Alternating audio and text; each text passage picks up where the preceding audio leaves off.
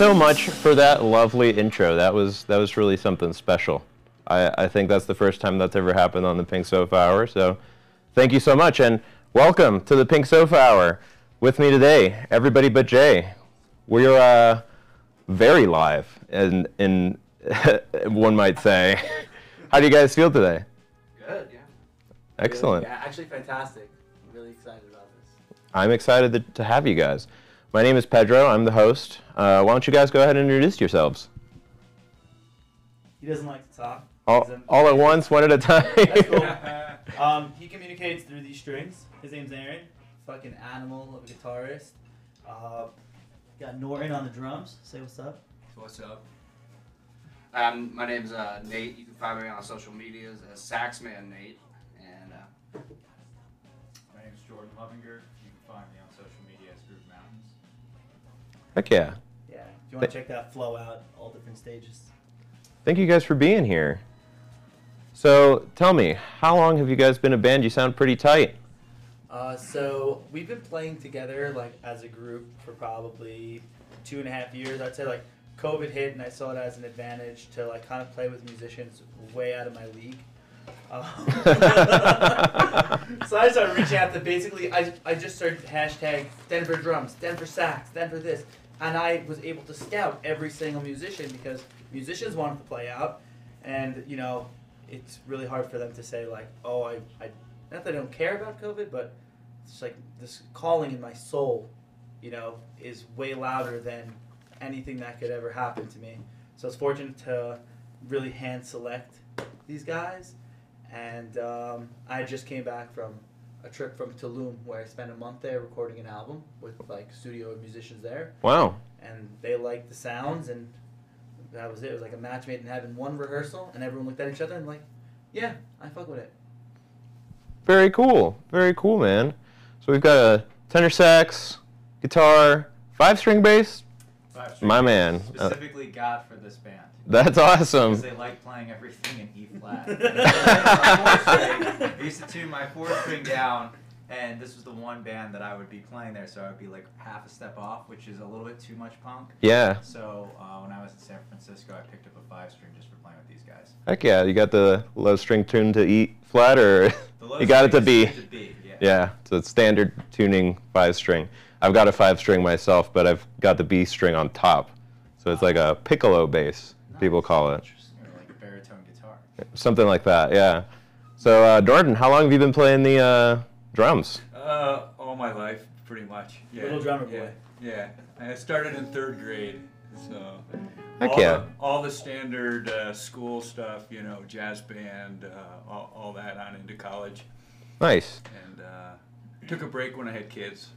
And I see, yeah. Started playing again about ten years ago, I'd say. Did you um, did you play jazz drums originally, or was jazz kind of something you picked up? Most most of my background was jazz oriented, um, but being a working drummer, I'll play country or whatever. Cool. Needs, needs a beat, yeah. Cause you, so you do a lot of like studio drumming. I do studio drumming. I do live drumming. Yeah. Cool. Do you guys all kind of consider yourselves studio musicians at this point, basically? I know Nate, you play in like six bands or something like that, right? yeah, I'm doing, a, I'm doing a lot of different stuff. Um, yeah, I do I do this. I have an 80s and 90s tribute group that I play with in uh, Colorado Springs called Mirror Shades that just started up recently. Uh, Nice. it's been- Mirror shades. Yeah. Um, yeah, we just started that group up. It was a whole wild thing where a few of us uh, walked out on another guy who was running a really bad band. Oh yeah. I yeah. won't mention any names, but um, What's yeah, man? like about three of us just kind of got fed up and we're like, we're gonna go do our own thing. Yeah. Yeah, that happens. You know, the Yeah, music scene kind of gets recycled. yeah. Exactly. It also gets stronger because of that kind of stuff. You know, people, shitty people kind of get pushed away, and the cool people kind of get closer together. Right. Yeah. Jordan, how about you? Mostly jazz trained, or yeah. So I hear a little grew slap in there. That was Yeah, I grew up in Washington D.C. I am mostly jazz trained, um, but so I grew up in D.C. and I was trained by jazz musicians on guitar, but then I wanted to learn bass and I wanted to play house gigs. Easiest way to learn bass: start with punk music, right? sure. Su- Simple triad music.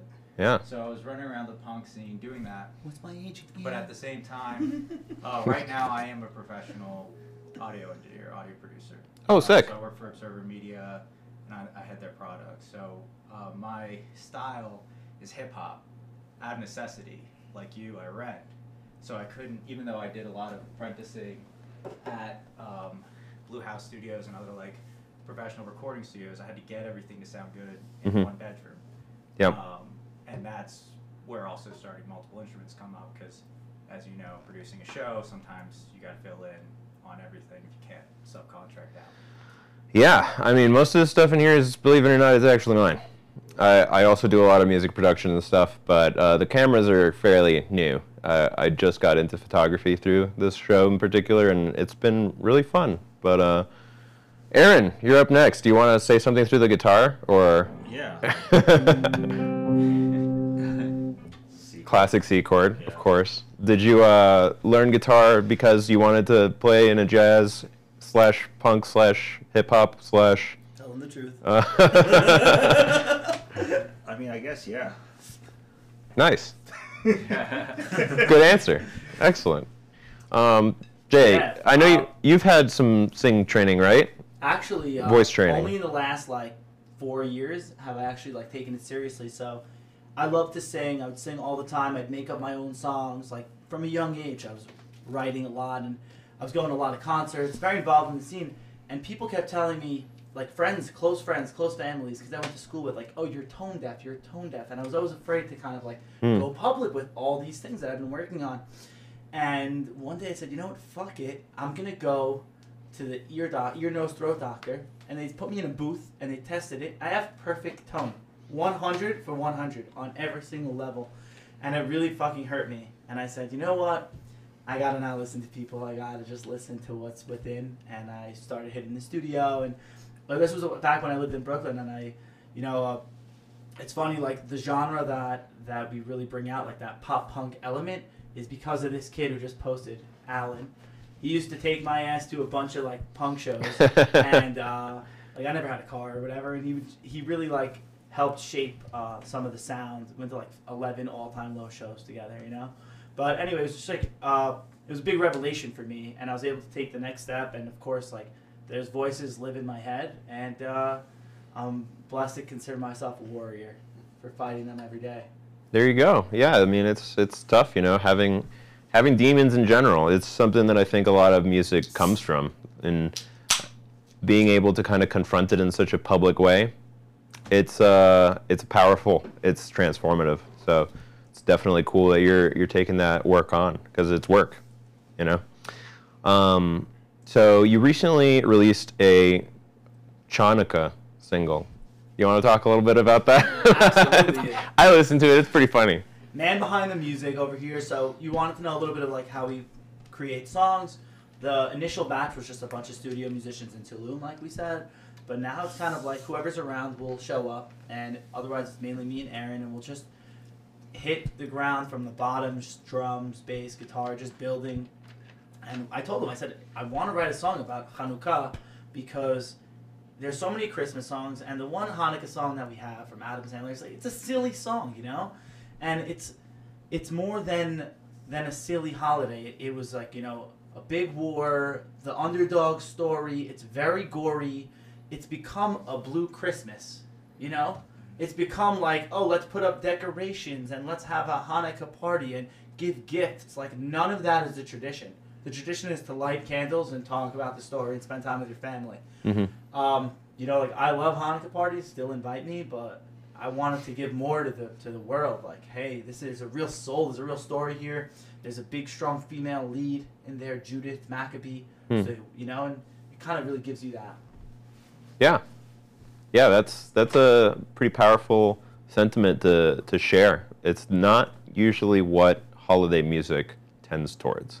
So It's not Christmas because it's a different holiday. That's what I'm trying to tell you. Right. Not holiday music. It's Hanukkah, Hanukkah, whatever you want to call it. Mhm. Music. Right. I mean, Christmas certainly has its uh, darker side of the tradition as well. But um, it's All cool that you've. written by Jews, by the way. There you go. and I know you said that you come from a very specific Jewish tradition too, right? Did you want to talk a little bit about that, being Uh, sure. I mean, my- having that Arabic background yeah, and my, my, being Jewish? uh, my grandfather came from Syria, and they were expelled from there for being Jewish. Uh, before that, you know, the Spanish Inquisition is my heritage. Uh, they were in Syria for King David times, all the way through. Uh, you know, my grandfather's times. They were expelled. He moved to Lebanon because it was a neighboring city, and they they lived there. My father was born there, and then not too long after that, they were kicked out again, and uh, you know uh, it's just a constant level of oppression that builds like this big hard shell uh, on top of the whole Jewish guilt, shame, religion. There's all this of like oppression on top of it, and uh, I've been really lucky to really do a lot of generational healing. Uh, yeah, for, that's tough. for the coming generations. And yeah, just so many different types of fucked up. You know, I, I did a, a political science class, and the professor says, "Why are you here?" I said, "Well, I'm Jewish and Arab." And he said, "You know, this is not therapy." So Well, I think that generational trauma, you know, that's the kind of thing that takes a long time to get over. But being able to confidently say the the trauma stops with me, I think, is a great first step towards kind of making that healing start to happen. You know. Um, so I was curious. The name Everybody But Jay, where where does that come from? That's that's kind of a particular. It, it's kind of like the opposite of like Jay and the Jaybirds or Jay and the yeah, the Just- jazz You band. got like Steve yeah. Miller band and like all these guys, and honestly, it's Steve Miller is not the most impressive person. Like the drummer and Bruce Springsteen is fucking amazing. You know, like Sure. like he should also be included. Especially like I said, I I was. mean Max Weinberg. Thank you. See, I didn't even know his name. He was on the Tonight Show. I don't watch it. I don't watch it. Wasn't that, wasn't that called the Max Weinberg Orchestra? Yeah, yeah.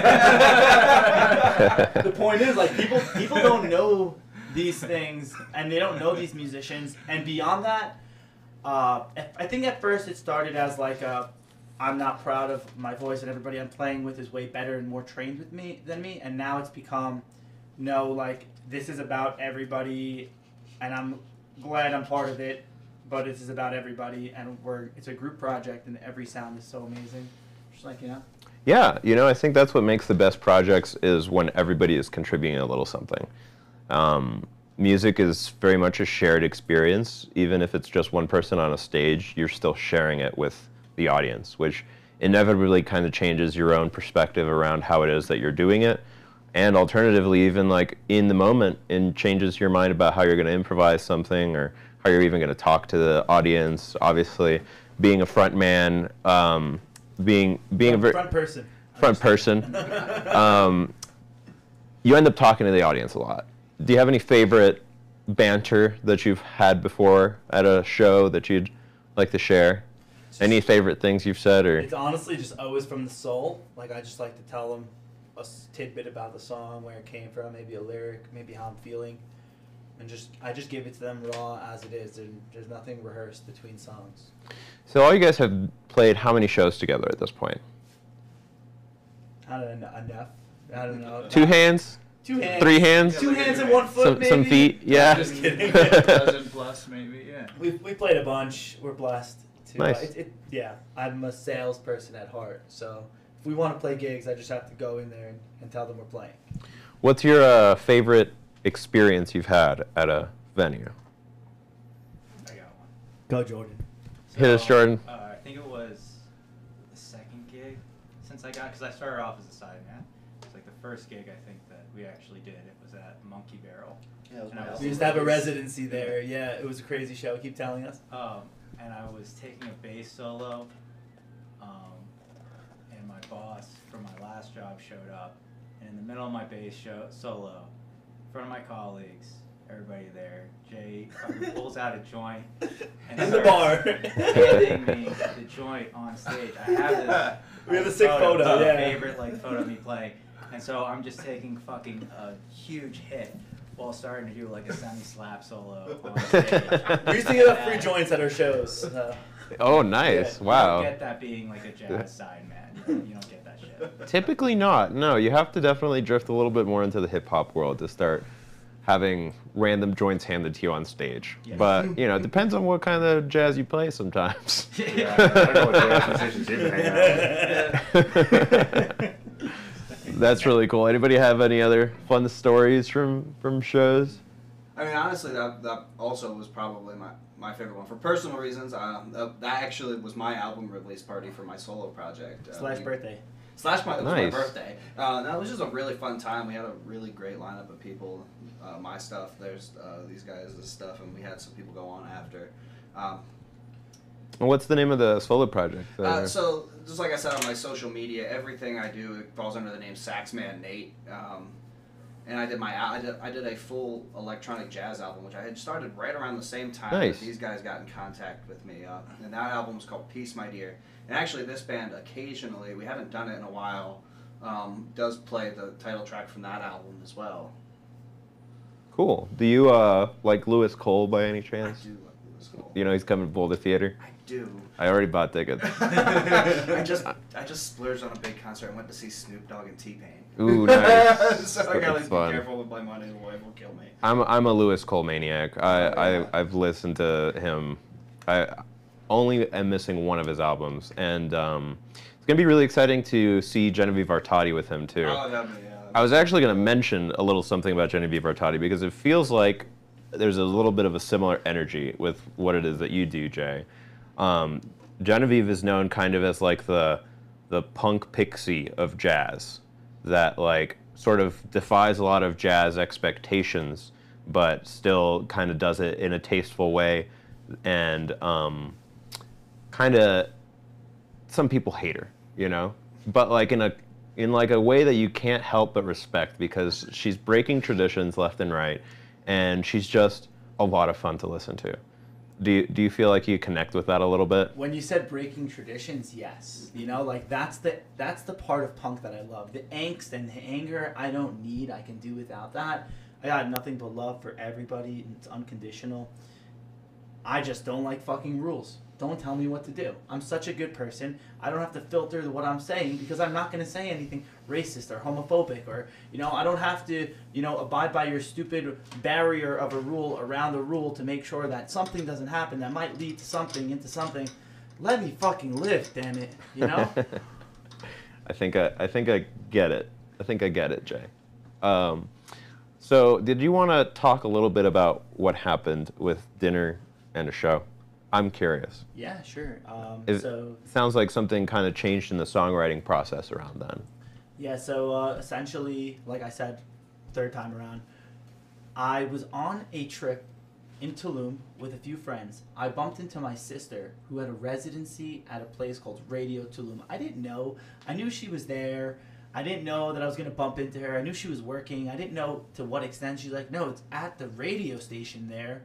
And you should actually go and meet the head of the radio station and maybe he'll record some of your music. And I had just been there, just like on vacation. So of course I had my notebook and I was writing. And I had a bunch of songs. I was listening to a lot of like jazz and also a lot of like Frank Sinatra, Dean Martin. So that's kind of where that blend came. And uh, I said, you know, I'm gonna put out an album in one month. It's a one month project. And uh, we hired some studio musicians in pesos, way more affordable. And we just got to work. And I was like, oh, I'm gonna pump out this album. And I realized that the recording studio wasn't really up to the par that I wanted it. I wanted it to sound more studio and and not so much like grassroots. And we started building, rebuilding one track at a time. And I read an interview with Sam Hunt where he's like, I don't release albums anymore. I release singles. Why should I wait until I have 8, 9, 10, 11 tracks just so people can hear my music? That's like not not, not in the spirit of art.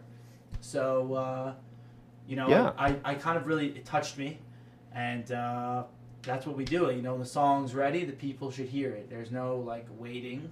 There's no building a hype around it. it it's for the, it's for everybody. But Jay. Makes sense.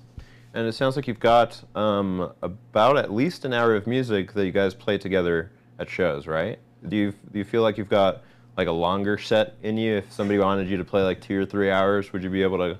Yeah, so Run I'm that. Like, I have like that natural sale, salesperson in me, right? So the So you want to say we- yes? The first time we got a, gig, the guy's like, "Can you do two, three hours?" I responded yes, and then texted them, and we realized, you know what? We can make up songs on the spot. Like, we Yeah. pump out songs like it's water. So we literally bullshitted like an entire hour of work, and we played our like 45 minutes of songs. And then Nate's been the big push to like, we should write more. We should write more.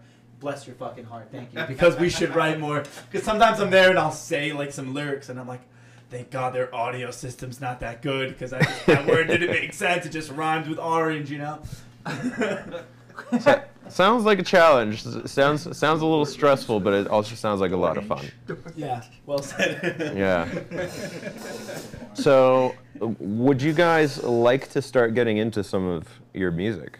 Do you think it's time to hear the first track? Do you want to talk about it a little bit before we Um, get going? Yeah, this is like the song that's kind of like yelling at the other person on the phone. Like it's really me. I'm the person on the phone where I'm like self-conscious about like texting back to a girl I think is pretty. Um, and it's kind of like just send it. Just just fucking say what you mean and say it from the heart.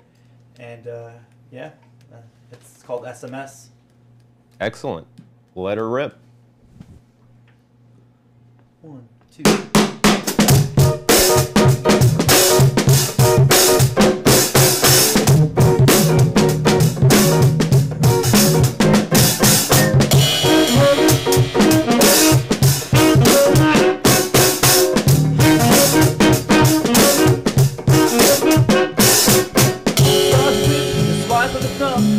I always thought those apps were dumb.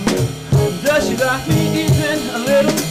When my heart will shit fiddle, cause there's a woman, there's, there's a woman. There's a woman, I take mine? There's a woman, there's, there's a woman. There's a woman, take mine? What's your IG to your post? Saw your story, does she know? If I send it, will you be offended? Start to think how the last one ended. So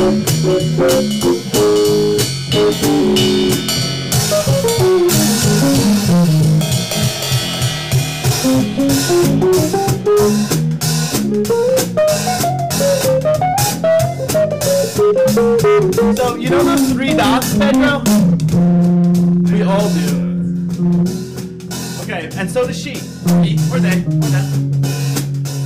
But what they really want to know is, what's on your mind?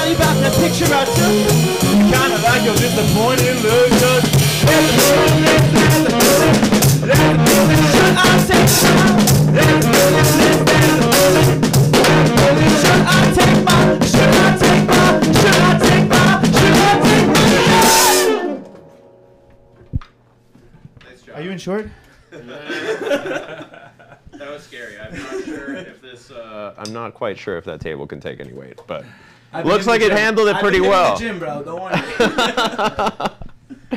Great job, guys. That, that was uh that was nice. That was nice. And it, that song was called SMS. Is that right? Some, and also, like, I put things in parentheses always because I want the song to have like that art aspect of it, but I also want you to be able to find it easily. Like, oh, they say there's a feeling 80 fucking times. I should be able to find it that way too, you know? Yeah. Yeah. Yo, me too. you said Look- SMS we usually call it I got a feeling. Yeah, I write it in the thing because I know they're gonna remember it as feeling. Why did I make it more confusing for the people? But it deserves a title. I strongly appreciate songs that have parentheses in them in the title specifically. I mean, it's hard to include parentheses musically, Especially the but uh, the what? the worm. The worm. Parentheses, the Ah, yes. Like you know. This song has no parentheses. In parentheses, the parentheses song.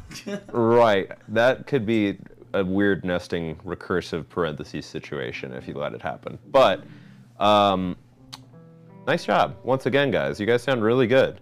And uh, I can attest to that specifically this time because I think I've figured out all the audio issues from the first few episodes. So I'm excited for you guys to hear that in post. Now, um, we could keep going if you'd like, do some more tracks, or we can take it down a level and, and just chat for a second as well. Let's do it. It's your show, boss. All right, well, in that case, we're going to just take a quick 30 second break and You got sponsors? be right back. Sponsor time.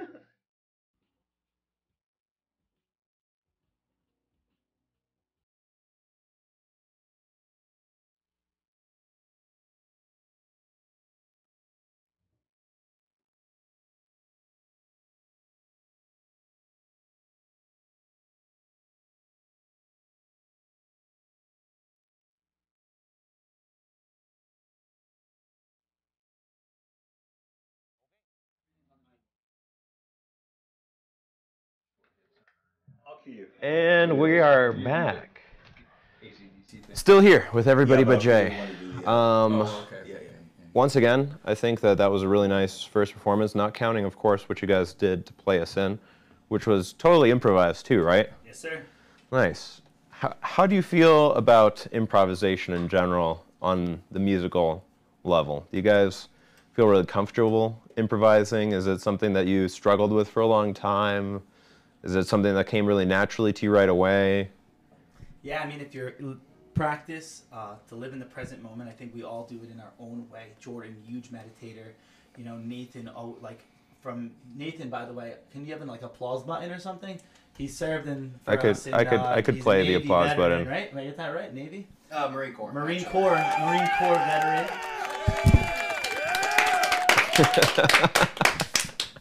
So you know, just uh, you know, he's le- got that live in that moment attitude. Uh, from there, I don't, I don't know if he practiced other things. Aaron also very mindful. Always uh, practicing empathy. Always spending time with you know himself and his mind and, and doing those healthy practices. Norton comes from a long line of that.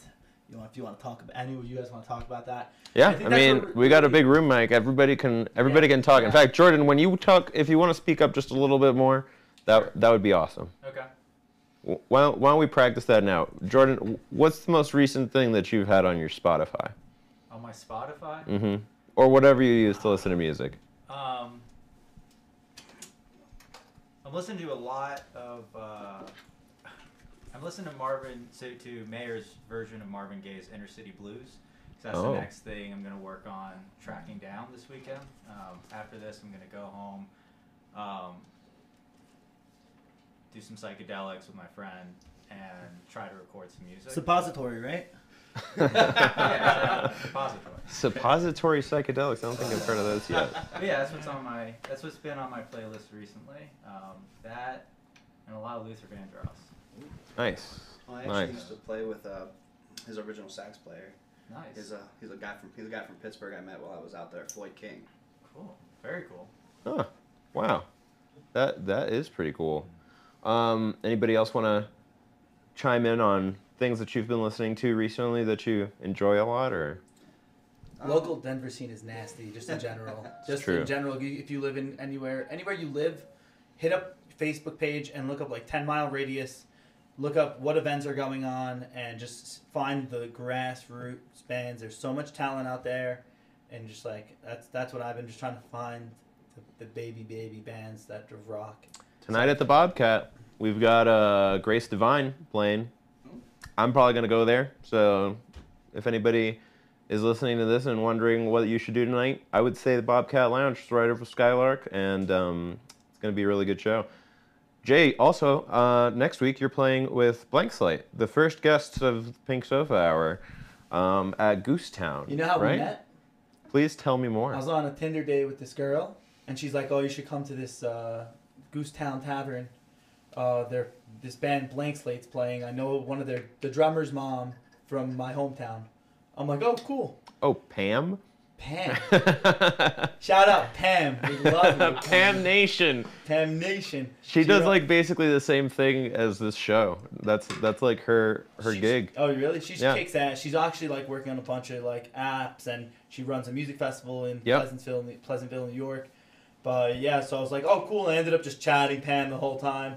I was out in New York visiting family. Me and Pam went to a couple shows, and then I just hit Nice. up Tess, her daughter, and I was like, yeah, we're planning a show next month. You're coming? She's like, okay, we're in, and yeah. Sick. Sorry, I cut your ass off. My fault. What kind of music are you listening to? Oh, oh. I don't know. I'm always I'm always so weird and bopping around. I mean, recently I've been listening to a lot of uh, well, they're a they're a smaller group named Marbin, uh, M A R B I N. Uh, they're like a uh, so like a, a fusion jazz trio. Um, Ooh. And I've I've always had this dream of like starting some. I like I like saxophone fronted bands, obviously for, for obvious reasons. Uh, you know, Marbin is a you know Can't imagine a- why. they're just a soprano sax guitarist and a drummer. Um, and I've, I've been wanting to start like my dream band eventually uh, here soon. Um, and I've been I, wa- I kind of want to model it like after Marbin a little bit, but also kind of like I don't know if you're familiar with Cory Wong and like uh, Vulfpeck course, yeah. And, uh, Yeah. we love I love- Vulfpeck. I Big love fan. Uh, his his side project, uh, Fearless Flyers. Also actually. great. Uh, Yeah, Nate Smith on the drums. Yeah. Absolute maniac. You know, in a recent interview, I heard uh, Louis Cole. Actually, it wasn't a recent interview, but Louis Cole talks about uh, who he looks up to on the drums, and it's Nate Smith. Yeah. That's who he wishes he would sound more like. And And- I like that band in particular, Fearless Flyers, because it having that drummer that's just like so funkified, like makes everything just sound better. just- you know? you don't need a, he doesn't need a whole lot, you know. In the, most of the videos, he's sitting there with a hi hat, a snare drum, and, Right. and a kick, kind of like Norton is over there right Exactly. now. Killing it. Um, And that's kind of the vibe that I wanted to go with. I got a I got a drummer who in mind who who loves that stuff, and he's, he's he his main project. He's actually signed to uh, to a uh, small label in Colorado Springs. Uh, Called KRM Records, uh, and their band is uh, Lambed, and they do like a lot of he- like heavy metal. Uh, but he loves hip hop and stuff, so I'm trying to get him to do this project. Um, but yeah, Nice. so I've been listening to like a lot of Fearless Flyers, Vulfpeck, Marbin. I just kind of like want to meld, meld all that into some kind of like weird fusion project. Cool. It's a Nice. nice little mind meld. I actually was listening to Vulfpeck on my way here. So Nice. I, I'm the every time I've listened to a Vulfpeck song, it's like come up in Spotify as a recommended, and then I automatically go, oh shit, who's that bassist? And I look over and it's you know Vulfpeck playing. Joe Right. Dart again. But I think it's Can't get away from that guy. It's what I'm trying to bring here a lot. Like if you hear when we improvise stuff that I start off, or when we have songs that have a little bit more space, I'm trying to bring in that like okay, we're gonna hit a couple of simple chords and then some melody, um, because it works so well with Nate particularly to Heck get yeah. that crescendo in that space, and we're tight enough to pull it off. You guys definitely sound tight enough. Would you like to give us another example? Yeah. All right, let's hit it. Yeah, so this song, you can start. You can, you can start it. It's called "Got a License," and um, you know, Aaron writes like a shit ton of music on his own. Uh, I heard this one that he's writing. I said, "Dude, this is a, my song. I'm stealing it." Uh, I failed my road test seven times until I passed. This is my song, bro. so uh, I adopted it. It's called "Got a License." And uh, I like to, you know, remind people that if at first you don't succeed, and second, third, fourth, fifth, sixth, seventh, seventh, just don't give up. Just keep fucking throwing shit at the wall because that's what this life's about. And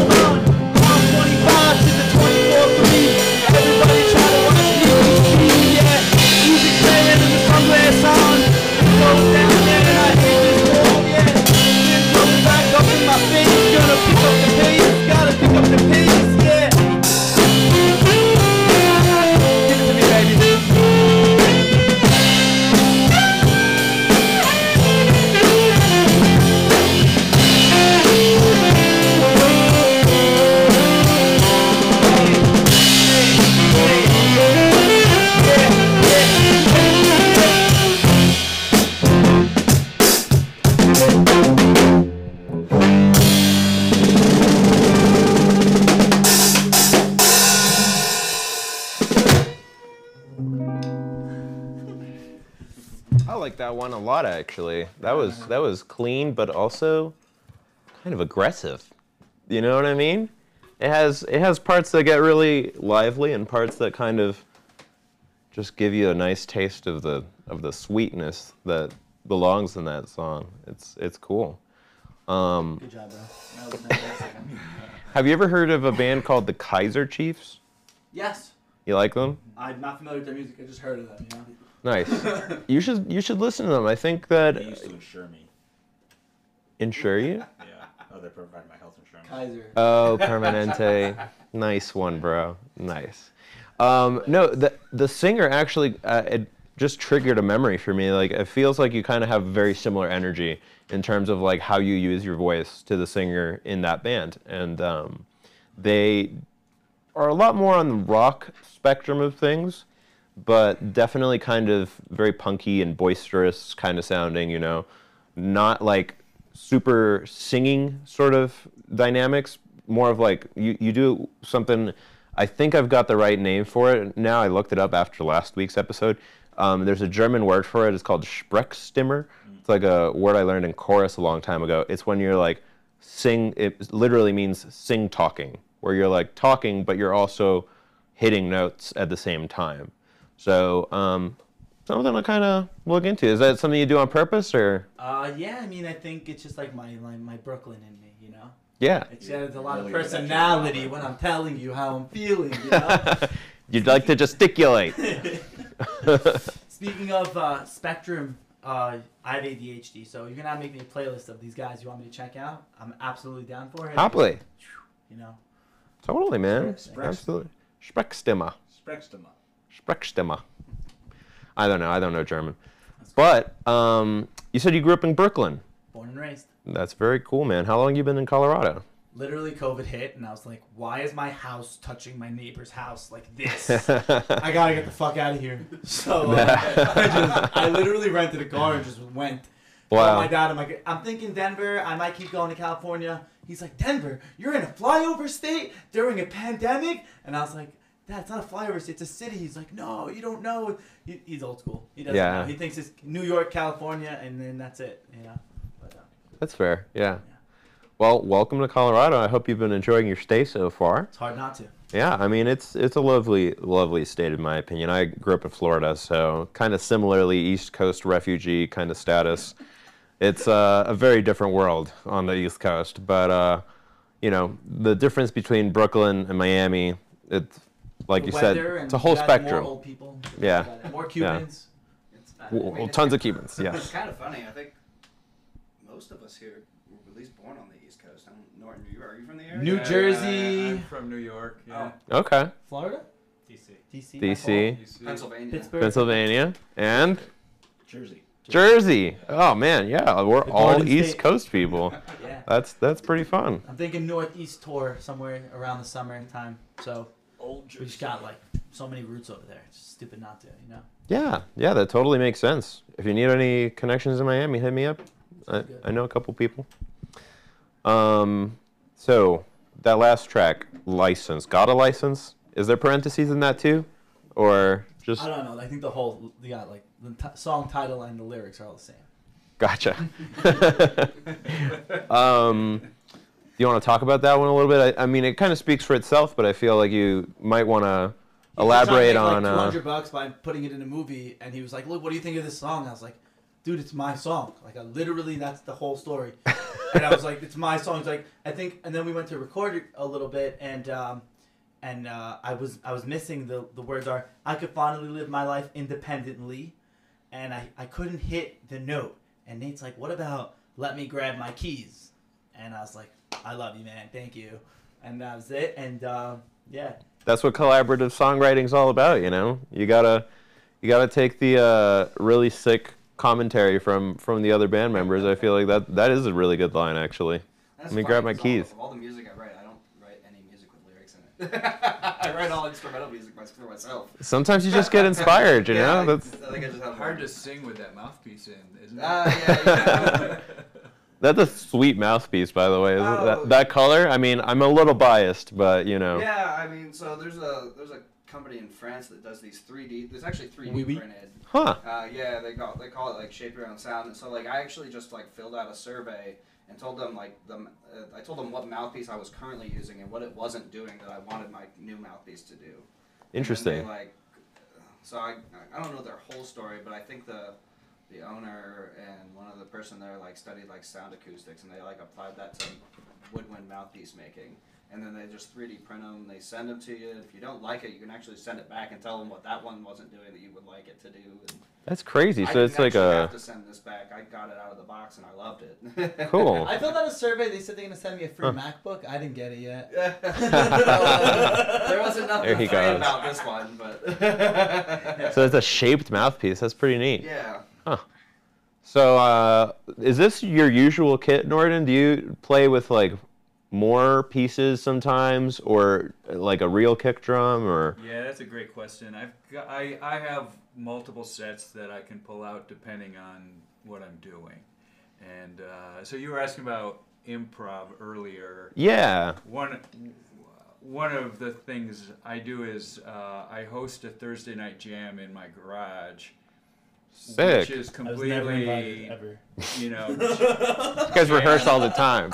completely like jam based, right? Like so it's covers or just jamming over whatever chord pattern. And so we've been doing that for like eight years, and that's opened up a lot of brain cells around improvising and you know not having to know the structure and all the fills and solos in advance. Um, and so in the garage, I've got a, you know, like four tom toms and a big bass drum and tons of cymbals, and I can make a lot of noise. Yeah. Here and in smaller venues, I don't want to make a lot of noise. I just want to put a rhythm down and, you know, have it fit in. This is a kit I invented when I was playing with a band called Half Pint and the Growlers. They've since moved to Santa Fe. That's a cool name, Yeah. by the way. Half pint and the growlers. She's about half the size of the rest of us, so it was a perfect name. Half pint is the Half Pint was the, The lead front singer, person. front person, and the Growlers backed her up. cool. And uh, we we they were a Golden-based uh, organization, and we played all over. And uh, we played a lot of smaller venues, but even when we played the bigger venues like uh, Ophelia's or something like that, Oh, I love Ophelia's. um, Great this space. was basically what I did for them because they wanted a kind of an old timey, low key, not like traditional drum Totally. look and feel. Yeah, yeah. know? Yeah, I mean the cajon kick. Could we hear that cajon kick? Yeah, that's the cajon kick. It's, it's got a If nice I- little If I wanted thump to, to I it. could. Yep. Nice. uh, And then you've got like a pedal that I've never seen one of those. Yeah, is, it, so, is that something you're is kind of? actually m- third generation for me because this I probably invented my great this. great grandfather. I came up with this idea uh, like uh, I'm going to say five or six years ago, and at the time the pedals were all cable based, and and they'd wear out, and then I'd be in the middle of a gig, and all of a sudden I'd have to be playing like this, That's Which that is looks annoying. really Yeah. fatiguing. I bet. right? Yeah. And so I, uh, Drummers always I complaining. finally I upgraded to this. It's a direct drive pedal by DW Huh. that is bulletproof, and Yeah. I'll probably have it the rest of my life. Well, looks like you turned the beater around Oh, by I accident. did, yeah. I? Yeah, I need to uh, Scary. get in there with a key. Turn the So beat around. Oh, he's an engineer, by the way. Oh, Yeah, sick. this is like not just anyone could do this. Oh yeah, you're a professor, right? Uh, uh, I'm I'm actually retired. I'm a musician now, but Okay. I was uh, uh, I worked for HP for about 37 years, and then I taught math in middle school and high school for a few years, and now I just make music and walk my dog. hey, that's that sounds like a good way to good way to live right now, Yeah. for sure. Yeah, it's all right. Do you get a, a discount from HP? I Your get a computers discount suck from HP. dick, Yeah. Oh, bro. really? Don't get Yeah, HP. yeah, it's not a Yeah, I great don't- one. it's, it's, it's like going to like Walmart during a sale kind of a Oh, thing. oh, You cool. know, whatever. Yeah, my yeah. last com- no, the computer I just got is an HP. Yeah, you sh- yeah. I should yeah. Yeah, let me know. I get the, I get the, uh, Good deal. the retiree discount. Aaron, you got any comments on improvisation? I, I could tell that you're a pretty practiced guitarist and you can kind of riff on all kinds of stuff, right? Uh, I try to, yeah. I mean, I always improvise because, like, I can't play the right notes, so. Ah, the the I will make them right approach. Well, I mean, it's all subjective. I mean, they're all, they've always been right to me, so. They He's sound very they sound right to humble. me too. He's very humble. For those who don't understand that on the live, anytime any like touring act comes through town, obviously not like a top forty or major label because they got their own like guns, but anytime somebody comes through town and they need to hire a guitarist, anytime there's a wedding and they're like in Aspen and they're about to blow a giant load on the band, like they call Aaron because they know he fucking Yeah. carries the band. He's the fucking man. Like he's so good. It's it's crazy. Let's, like let's I get a round of applause for Aaron. yeah.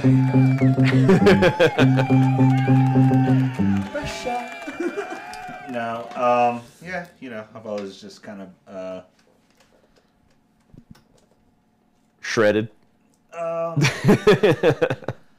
no, no, I mean, I can't, you know, my hands are like, you know, I can't really shred, but, uh, I can make stuff up, so, so it's kind of been my strong point. Definitely sounds like it. By the way, um, in case Thanks. the anybody that's tuned in doesn't know, we uh, do have a monitor in front of us that we can read the chat. So, in case you guys have questions for the band, please feel free to type them into the chat. We will Nothing's be reading off them. the table. You can ask us anything. Uh, Shout out some some things Alan might be off the table. So much great stuff to say. Yeah, Al- Alan has been very uh, active in the chat. Warped Tour. He's he's known Jay for a very long time. We snuck into four warp tours together. That's a lot of fun. Yeah. Do you want to talk about that?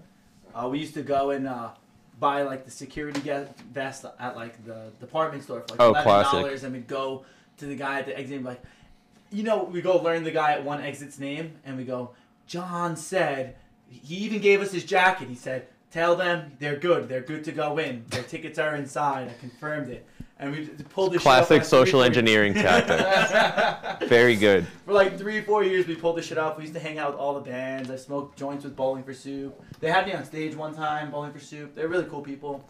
Um, just hang out with Kosha Dillz. I don't know if anyone knows that guy. Just a lot, a lot of guys from like Warp Tour days. Um, and it was just fun. We just hang out in the parking lot, meet all the bands. Uh, it only costs eleven dollars if anyone wants to know. Security vests tend to be a little cheaper than actual tickets, bands. Yeah. Um, looks like we've got about 10 minutes left. So, did you guys want to play another one, or did you want to start doing right a? We're gonna play this one called the Big Bad Betty Show, Okay. and then we're gonna. That's actually coming out on the nineteenth, my birthday. You got an EP coming out. Sure. It's just A single. It's a Sam single. Hunt. What- Right. Forgot. You're good. Um, and then we're gonna go into this other one. If there's enough commentary on the board, or if Pedro wants to feed us words, we're just gonna make up a song about whatever the fuck you guys want us to. So Okay. uh, this was called the Big Bad Betty Show. Comes out on my birthday, which is in I don't wear a watch. A couple days, Thursday. Uh, let's hit it.